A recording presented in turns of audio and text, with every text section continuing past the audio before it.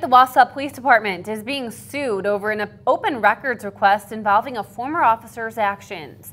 The Wisconsin Transparency Project says the department has not released relevant information about an internal investigation into then Lieutenant Adam Hartwig over allegations of sexual misconduct.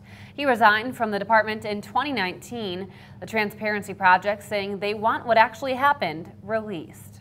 And there's also the idea that we need to see if these investigations are, in fact, being thorough and being fair to both the accuser and the accused in these situations. Wausau Police Chief Ben Bliven said he could not comment due to the active lawsuit.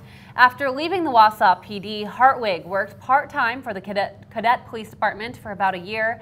Chief Daryl Price tells News 9 he resigned under good standing.